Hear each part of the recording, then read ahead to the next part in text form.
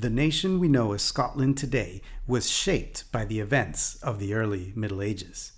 Before there was a kingdom known as Scotland, it was populated by a mosaic of peoples we know as Picts, Scots, Britons, and Anglo Saxons. The first Viking raids of the late 8th and 9th centuries would throw these kingdoms into turmoil.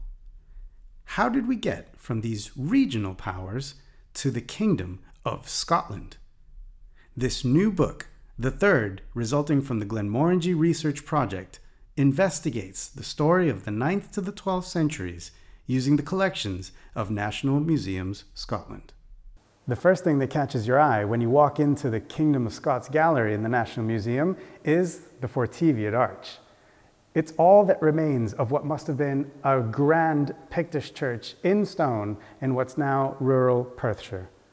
The large figure on the left is likely a depiction of King Constantine, who died in the year 820. His reign coincided with the first Viking raids in Scotland. He built himself a palatial residence in the heart of one of the most fertile valleys in his kingdom, showing the imperial ambitions of the Picts at their height. The wealth of the monasteries, signaled by the richly carved crosses that still dot the landscape today, would have drawn Viking raiders. We know that many saints' relics were carried off in those days because we find them in graves from Scotland to Scandinavia. Sometimes they were cut up and recycled, made into brooches and other dress items. Other times they were kept intact as if they retained some aspect of their supernatural power, even in a pagan context. But I wanted to understand what happened when the age of raids became an age of settlement. Scotland has a remarkable collection of over 200 Viking Age burials, forming some of the earliest finds acquired into the National Museum's collections. For every one that is on display, there are several more that remain safely curated in our storage facility, the National Museum's Collection Center. This is where I carried out the best part of my research over the last three years. Rather than digging in the ground, I was privileged enough to dig in the museum itself. This meant taking a close look at several objects which have rarely, if ever, been on public view. Objects like Viking swords, can be heavily corroded, but on close inspection, they can reveal intricate ornamentation. I was also able to discover or identify for the first time objects that were not recognized in our collections.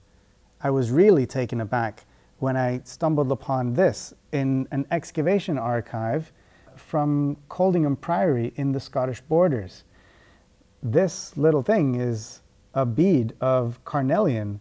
It's a rare material which is found from maybe as far as India.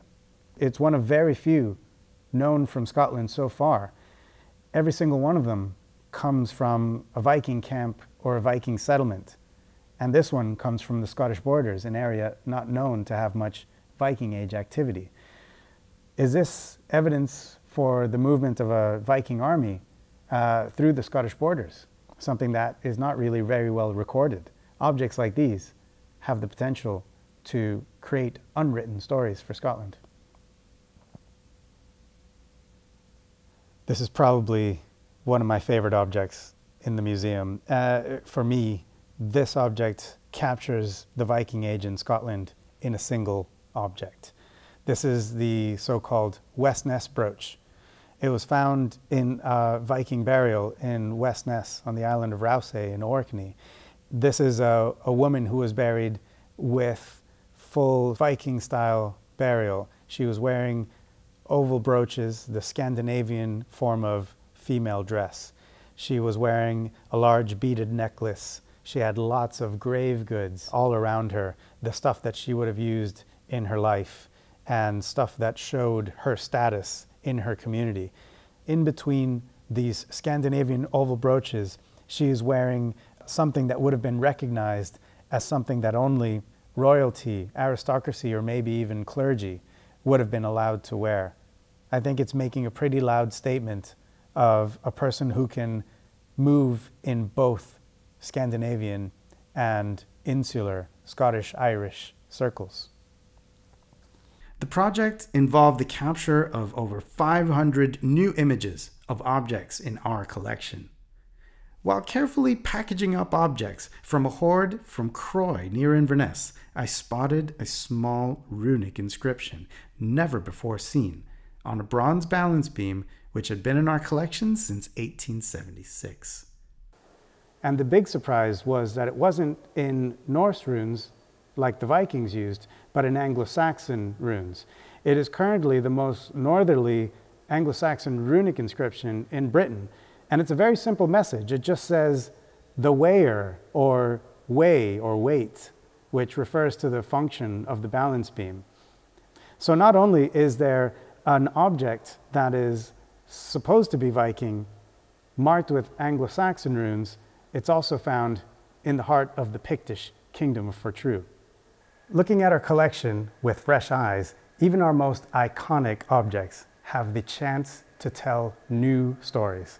The Hunterston brooch is a masterpiece of early insular craft, made before the Viking Age and kept for centuries as an important heirloom.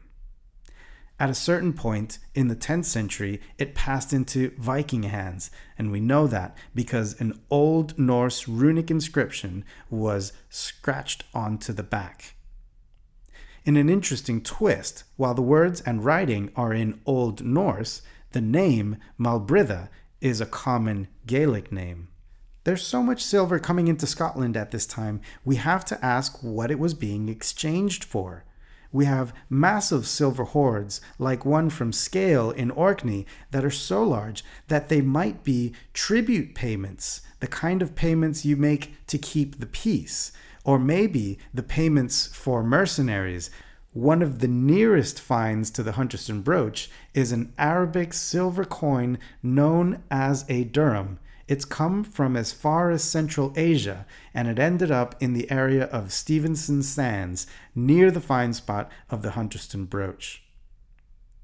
It shows that the Hunterston brooch falls under a time when a lot of silver and new money was coming into West Scotland from the Irish Sea Zone and Scandinavia beyond that. Into the 11th and 12th centuries, we begin to get new objects appearing in Scotland, which also show up in Britain and Ireland regardless of political boundaries. It shows that fashions and material culture were becoming more Europeanized and shows that Scotland was part of much larger trends. But whether we are talking about castles or church architecture or material culture like these, what we're seeing is a local Scottish take on much wider European trends. What happens when we look at the 9th to the 12th centuries from a Scottish perspective? It tells us that there is more to the Viking Age than raiders from Scandinavia. Viking settlers will have adopted insular languages and insular styles of dress, just as some people in Britain and Ireland will have seen the way the wind was blowing and potentially went Viking themselves. The 10th and the 11th centuries can be called a silver age, but what was all the silver for, and what did it mean to participate or opt out of that silver economy? The end of the period in the 11th and 12th centuries is often seen as something completely different from what came before. But you can hear echoes of the Viking Age if only we are prepared to listen.